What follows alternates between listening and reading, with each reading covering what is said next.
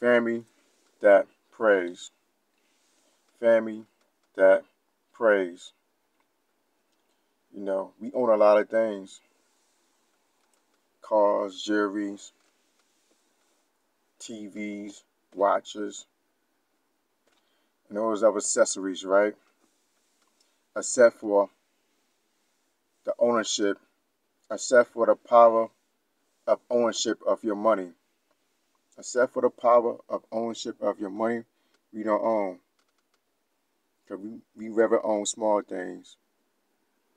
And that's how we get back to Mrs. Cartwright and the family that preys. That's how we get back to Mrs. Cartwright over again. Mrs. Cartwright, family that preys, you try to start your own construction company, but you know, you get put to the side with suppression due to their connections, right?